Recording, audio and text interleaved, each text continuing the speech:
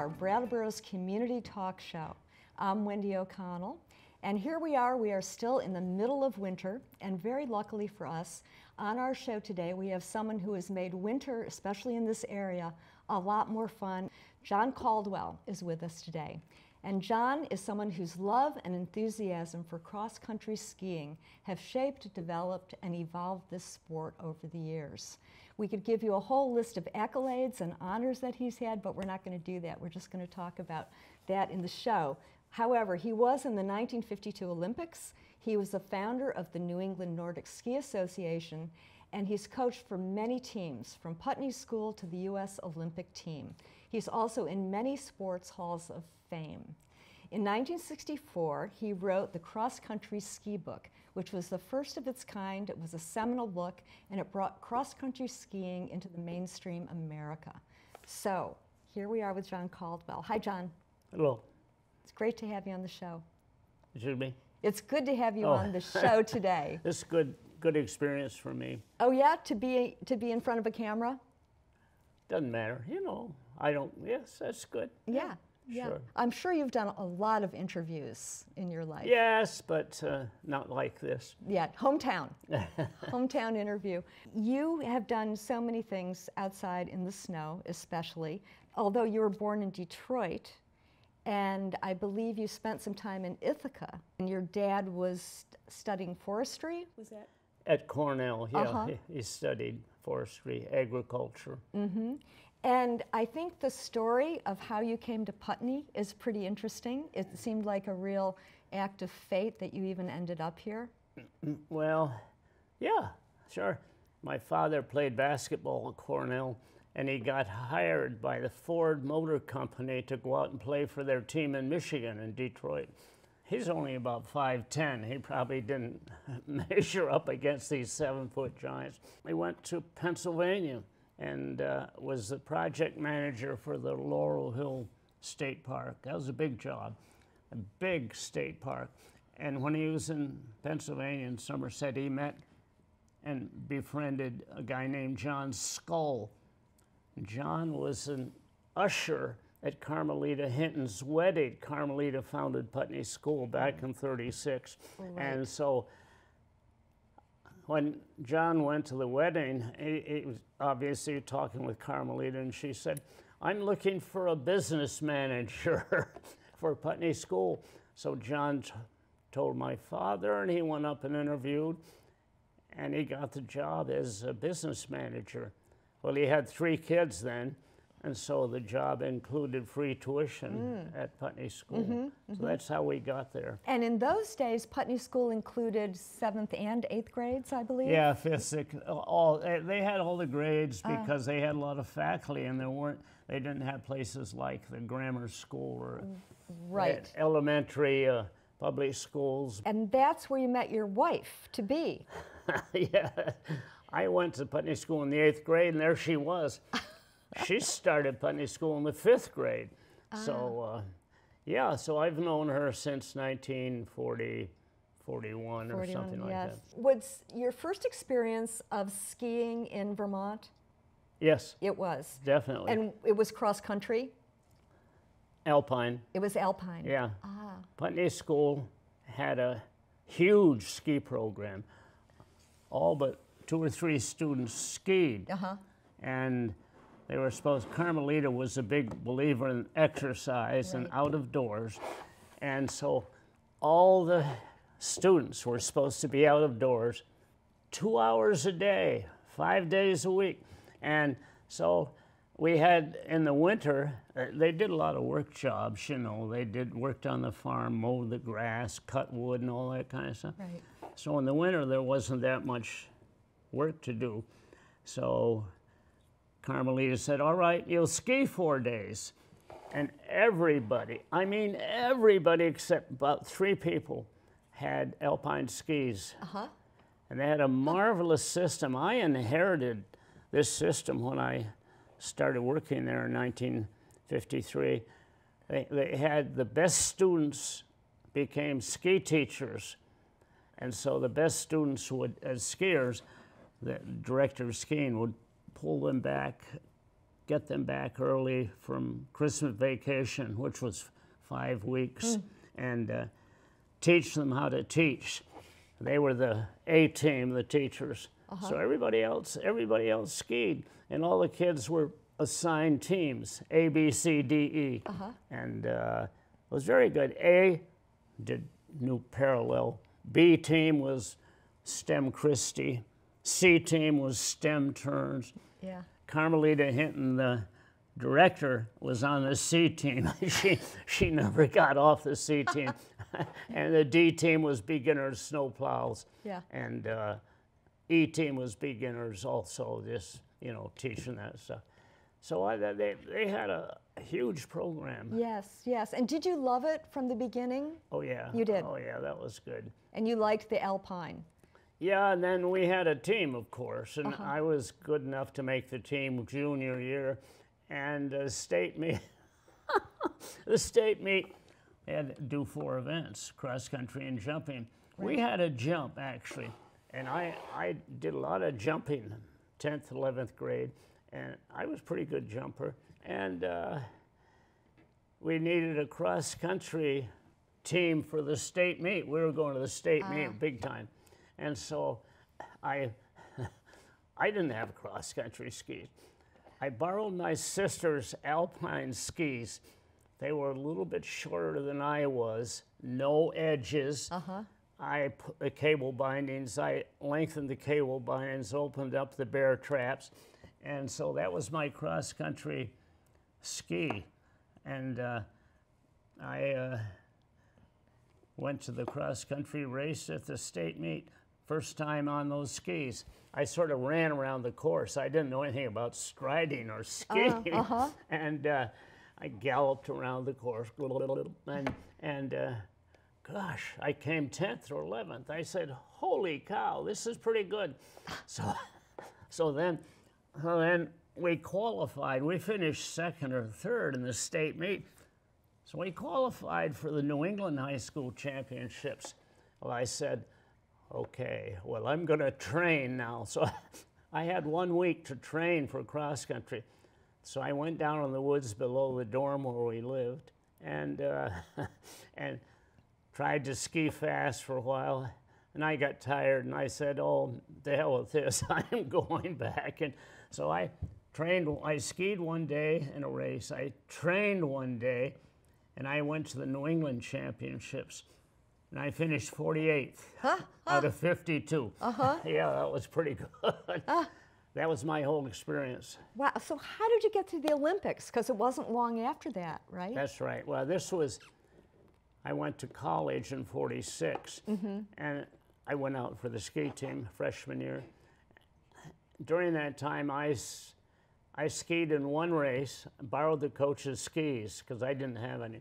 And the ski kept coming off in the race. Well, I finished 26 in that race out of 26. and so after I guess after my freshman year in college, I had been in three races and I'd practice about two days. That was my, the extent of my cross country after freshman year. But sophomore year, they thought I had potential, I guess. So they bought me a pair of skis. I went to college four years and I got to be a very good uh, ski meister type, downhill slalom, cross country, and jumping. And then I graduated and uh, had to get a job. So I got a job at Lyndon Institute up north. And then I had been in the ROTC in college. And uh, so I, it came due, I had to go two years for naval duty in 1953. Mm-hmm. So I, but when, the year before, when I was at Lyndon Institute, they had two tryouts for the Nordic combined team. And so I entered those. One was at Berlin, one was at Rumford. And I entered those and came second both races. So they had to put me on the Olympic team. So that got you into the Olympics, and you were obviously good enough to go and Well, I was good enough by U.S. standards. Yeah. We didn't have much of a coach. he, he got over there, he was a Swede. He got over there and had a girlfriend in Oslo. We never saw him.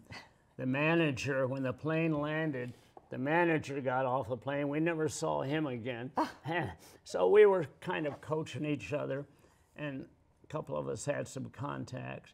And so one day at breakfast, the I guess the manager was there. The coach made one of his infrequent appearances. He said, we, have got a guy for you to ski with. Uh, we'll go out Nordmarka. We've got a guy from the bank who wants to go out with you. And I said, Oh, good. So he'll, he'll show us where to go. So we met him, and he started skiing up in Nordmarka, all those trails in, in, outside of Oslo. And he dropped us. He, he was much faster than any, well, especially myself and another guy, a combined guy. But he, just skied away from us. Huh. And I thought, hmm, now let's see. If this banker is so much faster than we are, uh-huh. what's going to happen at the Olympics? And it happened. oh, we got creamed. I have never, ever been so poorly prepared for, uh, for an event, uh-huh. even if it would have been tiddlywinks or something, you know. I was totally unprepared totally outclassed. And so I said to myself, this is bad. And I said, I'm going to devote some time to coaching, and I hope this never happens again. Uh, I got the job at Putney School, so yeah. Started there in 1953 yes. coaching. What was it about coaching that you liked? I think I'm good at recognizing techniques. Yeah. And I like helping people and I love coaching. My father was a good coach. Ah. When I came to Putney School in, in 40, 1940, 1930, 41, yep. he was grooming me for basketball. See, you know, like I said, I could walk under this table without bending my knees. I was so small. And, uh, but he, he got to uh, Putney and I got there and the first vacation, Christmas vacation at Putney School, I walked around town two or three weeks with a basketball under my arm like this, looking for somebody to shoot hoops with. Uh-huh. I couldn't. Nobody, nobody played basketball. They all skied. Yeah. So I had no choice. Right. So. Right. So you coached for many years at Putney School. Yeah, 30, 30 or 30. You're teaching math as yeah. your day job there yeah. too. So you're spending a lot of time doing, you've got two jobs basically, yeah, right? right? In your years of coaching, there were so many kids that came through Putney School that went on to, um, to the Olympics. Yeah. You had um, Bob Gray, Martha Rockwell, Bill Koch, uh, most famously probably, who picked up a silver medal in, what year was that? 76. 76. There was something about your coaching that really worked. Must be, I don't know. Yeah. we didn't have really any decent alpine slopes at Putney, so yeah. I naturally did more with cross country and I imported skis and started selling skis at bargain rates. Hmm. So we got a lot of people with cross country equipment. And then when it came time to sign up for sports, Hepper and I both, they knew we were going to coach cross country, the students. So, and we did a little bit of campaigning in our classes. We'd say, uh, you know, your math grade might be better if you went out for cross country team. It just it works that way. and so, so we started out, and uh, we had quite a few kids, ten or fifteen kids. And I went out one day. I was coaching them and uh, trying to coach them all technique.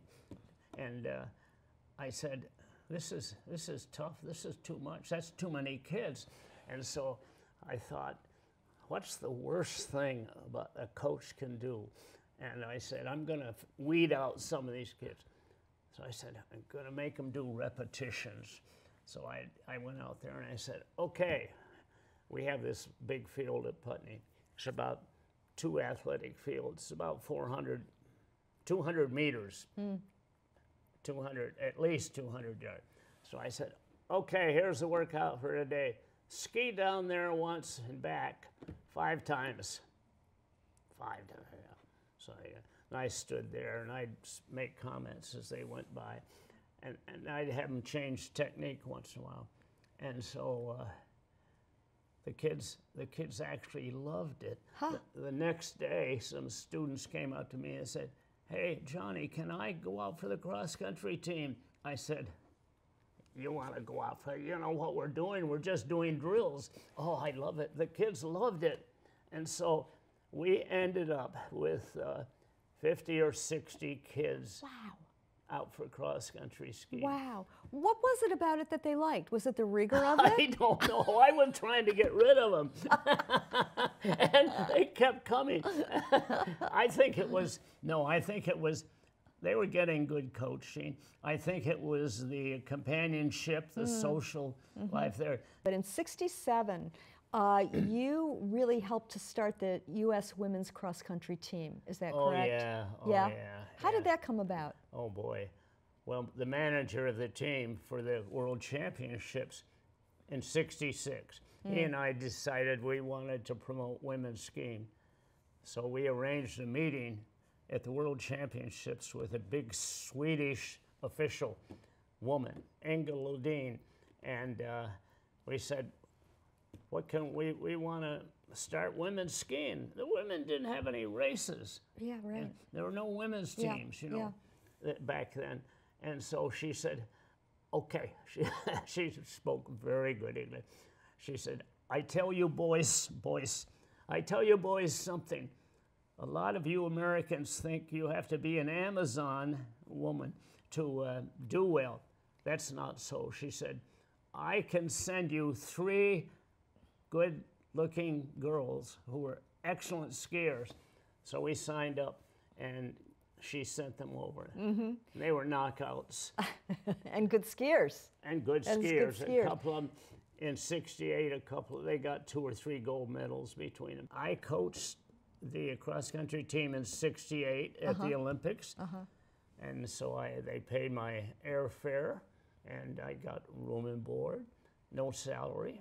Wow. So I paid and came back. Uh huh. And that happened in 66, World Championship, 68 Olympics, 70 World Championship, 72 Olympics. So, Yeah. know, In your years of coaching, um, being involved with the Olympics, you did a lot of traveling. Yeah. Yeah, and I imagine the difference in traveling from 1952, when you first went to Oslo, yeah, yeah, to whenever you last flew was tremendous difference. yeah, yeah. Yeah. From propeller, propeller airplanes to jets. Were they? Yeah. Yeah. I did a lot of traveling when I was in, two years in the Navy, too. Oh, uh huh. I've been to Europe, I don't know, 24, 26 times. Really? Yeah. Yeah. That's a lot. Did you enjoy it? Oh, usually, but now I don't like to travel. Right. I'm too old for that. I don't know. Yes. Well, too old is is uh, you know everybody says it's a state of mind, but it's a reality as well, right? That's for sure. That's for sure. and you founded at some point the New England Nordic Ski Association. Yeah, and I forget when that was. It was Yeah. probably in the 80s. You talked about uh, ski clubs and wanting to get groups of kids or adults together Yeah. to, to have teams or to work together. Was that the idea behind that? The idea behind was to get groups, local groups forming a club, uh-huh. and to run a program without any influence from the public school system. Hmm. Because the public school system would say, okay, Wendy, you're the coach. And, and then the girls would come, maybe, maybe you'd be coaching the girls. So the girls would come out and you'd, you'd start coaching. You say, well, uh, the, the headmaster say I can't coach you until January 10th. So you're, no, you're not coaching them until January 10th. So there were restrictions, Oh, more more terrible. restrictions. That's still alive and well, right? Oh, yeah, the public school team. Yes, and there are other ski schools now in Vermont. Lots, that's good. So the kids go there with the intent of improving in cross country. Yes. And they spend any exercise is cross country directed. In reading, rereading your book, which was really fun because it's so conversational, you know, and you have such a great spirit and enthusiasm. And one of the things that really struck me was that um, you, anecdotally, but also just in the course of talking about cross country skiing, uh, talked about it as a family sport and how much fun it is. And Yeah. you would talk about your family, four kids, Yep. and your late wife, Hep, Yep. who would all go out for a day Yeah. and clear paths and ski together. Yeah, that's Yeah. right. I think one of the main attractions, although it, people don't write about it too much, is that uh, getting ready for cross country. I won't say training. I'm not going to say that you're training for cross. Uh, you're just getting ready for cross country. You're not racing. Hmm. But getting ready for cross country it fills in with a good lifestyle. Hmm. You can go swimming, mm-hmm. biking, running, roller skiing, Right. mountain climbing, all that kind of stuff, and it all promotes uh, fitness mm-hmm. for cross country, mm-hmm. and that's a great lifestyle. Mm, Healthy, very healthy. Healthy. That's the whole thing. Yeah. And for you, living in Putney and your family, you could just walk out the door. When I was starting to teach at Putney School, going to teach at Putney, we didn't, like I say, we didn't have a place to live. And I thought back in the 53, I thought maybe I'd like to go into the ski industry, ski business. Hmm. And so they're just building Mount Snow. So I said, I'll get a job at Mount Snow. So I went over and I asked, is there any place? We, we had Tim, the kid, Hepper, and I think Hepper was probably pregnant. So we were there. And is there a place I can rent? Oh, yeah, there's a guy named Steve Greene who has a little cabin up on the. I said, okay. So I went to see Steve. Yeah, he said, yeah, sure, you can rent the, they called it the Bogle place. He says it's, uh, the rent's a dollar a day. I said, oh, that's good. And I, I already had a job digging holes at, at uh, Mount Snow for a lift. So uh, we rented that place from Steve Greene. We got talking, got to socializing. And so Jan was a big sports fan. She followed baseball especially That's Steven's wife. and she so she and she uh, we started talking sports so i wrote a little thing about a famous cross country skier was trying to yank everybody's chain by going out with one ski pole really long and one short pole and they started training like that. And people saw them and they got a little nervous. Maybe this is a new technique. Well jan liked my little writing, and i wrote just a page. She, so we often we started going there for parties and she said are there any books on cross country i said not that i know of. And she said would you like to write one? She said i'll edit it for you. I said sure. So that's that's what what happened. So i wrote the thing and she edited. She was a, uh-huh. she was a great editor. Mm-hmm, mm-hmm. Yeah. I've heard that. That was a hometown publisher, oh yeah. And they owned the bookseller for that's a right. while. yeah Yes, a lot of Stephen Greene books that were either Vermont oriented or that's sports r- right. outdoors. yeah yeah Yeah, great people. yeah What did you do for family vacations? We didn't take vacations. We couldn't afford room and board at a place. But, uh, and, you know, people say, well, how come there's such good cross country skiers? I said, I'd say, Ma and I are going skiing cross country. Do you kids want to come along? We didn't have a television set. So, and, and if they wanted to ski, that was it, cross country. We'd taken, there were a couple trips that the school promoted. And when the kids got old enough, we'd take them there. We'd go to Stowe for two or three days Yeah. or Bromley or something. And they've all, all four of those kids have ended up being cross country skiers. They're very good Couple in the. Olympics. Yeah, yeah. One, um, one, one died, the youngest, the, uh, the daughter. She had an incurable cancer, but she, she skied in college and she was good. She didn't go to the Olympics, but she might have been on the U.S. B team once. I don't know. Hmm. I can't remember. So one of your granddaughters, Sophie, So was in the 2014 and the 2018 Olympics. Yeah. Um, and then you have a grandson, Patrick, who- Patty, who, was in the 2018 Yeah, that's Olympics. right. As far as the Olympics go, you have been in competition, you've been an official, you've been a coach, you've been a spectator, that's it. and a grandfather, a father and a grandfather as well. Yeah, yeah. You know, someone said that um, in speaking about your family, because three generations, Yeah. right, of cross country skiers, they are indeed a once and future force of nature. Well, that's good. Yeah. No, they're Tim, the oldest, he's up in Greensboro right now, and with his wife, Margaret, and they got a week at a lodge, and they're just cross country skiing. They, are, they still do it all the time. Oh, Yeah. And Well, Tim was four times in the Olympics. four-time Olympic. Yeah. Yeah. He's a good skier. And Sophie is his daughter. No, that's Ferry's daughter, Oh. Sophie. Uh huh. It's hard to hard to keep track of. Yeah. Yeah, you've got a, you've got a lot of kids there and a lot of grandkids. Well, four yeah, four kids and ten grandkids. You have seen cross country change a lot over decades now, Mm, yeah. right? What do you think? What's your take on things? If, if, even if you look at photographs, you see how much it's changed, you know, in, in so many ways.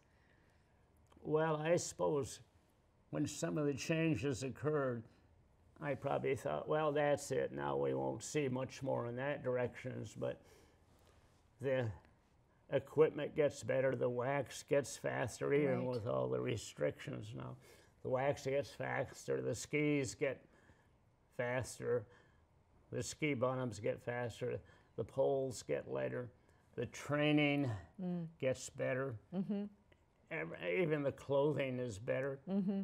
Everything seems to be improving, and, and when I think, well, it's leveled off now, next year something else happens. So it's totally different than it was in the 30s and the 40s Yes. when I started skiing. And yet it's still a very straightforward, simple kind of sport. Oh, sure. You can just strap on skis oh, pretty yeah. much and no, go. that's that's the good thing about it. Yeah. Yeah. At the same time, I've heard that, like in the Olympics, there are um, professional waxers, right? Oh. That go along with the teams and all that kind of thing. Norway has 10 or 15 waxers just at the Olympics. Wow. Wow. And, you know, it's a serious sport. That's Uh-huh. their national sport. Mm-hmm. Do you notice that skiing, when you watch, when you're spectating as, as uh, watching cross country, has the sport improved? Have skiers improved? Well, sure. Yeah. Yeah, they're faster. Mm-hmm. Yeah. And the track setting is better too. Mm. The tracks are better, or the grooming is better, you know. and so that makes people look faster. Mm-hmm. Yeah. Yeah. Yeah. Well, John, thank you so much. It's been wonderful talking to you. Well, I always like to talk about cross country, yes. Yeah, well, it you know that's again that's the one of the wonderful things about reading the book was just the um, the energy behind it and the goodwill, Yeah. you know, and how much um, how many wonderful stories there were just about being out there and being Yeah, together yeah. with people. Yeah, I've been very lucky. Yeah, yeah. It sounds like you've had a lot of fun. Yeah, Yeah, for sure. that's great. Thank you. You're welcome. Thanks to all of you for joining us today. We thank John Caldwell for coming on the show and telling us about the olden days from, the, from the last century, right? Yeah, that's it.